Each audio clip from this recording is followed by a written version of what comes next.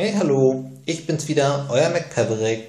In dem heutigen Video möchte ich mal mit euch selbst ein Radiergummi machen, welches ihr dann in der Schule oder im Büro benutzen könnt.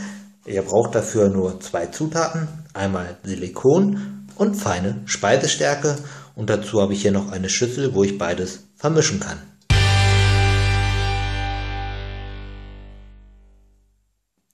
So, dann legen wir auch gleich los. Ich habe schon mal etwas Speisestärke in die Schüssel gegeben und jetzt kommt Silikon dazu. Dazu nehme ich einfach einen Hammerstiel und drücke das Silikon aus der Tube heraus. Also ihr braucht da keine Spritzpistole für. Und dann wird das Ganze schön miteinander vermengt und vermischt.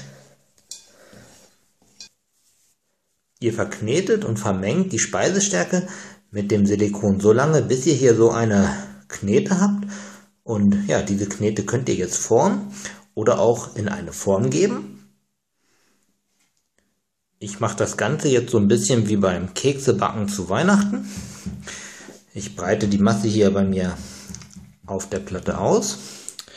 Und nun habe ich hier verschiedene ja, Stechformen. Und da steche ich mir jetzt ein paar Figuren raus.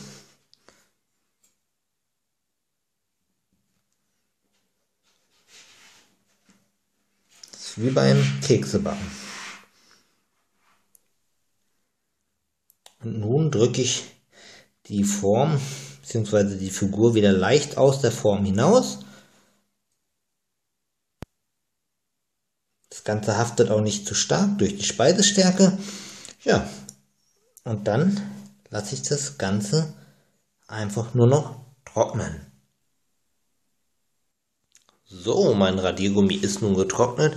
So schaut das Ganze aus. Ich habe hier jetzt eine Figur, aber wie gesagt, ihr könnt auch kreativ sein und andere Figuren machen oder etwas selbst formen. Ich habe hier auch schon mal mit radiert. Das Ganze funktioniert wunderbar. Ich zeige euch das Ganze nochmal. Ich habe dazu hier ein ja, Blatt aufgemalt und nun radiere ich hier die Schrift ganz einfach weg.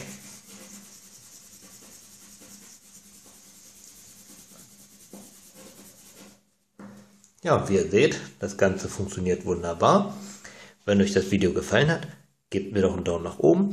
Wer mag, kann mich abonnieren. Dann sehen wir uns auch im nächsten Video wieder. Ich sage bis dann, euer Mac, Perfect.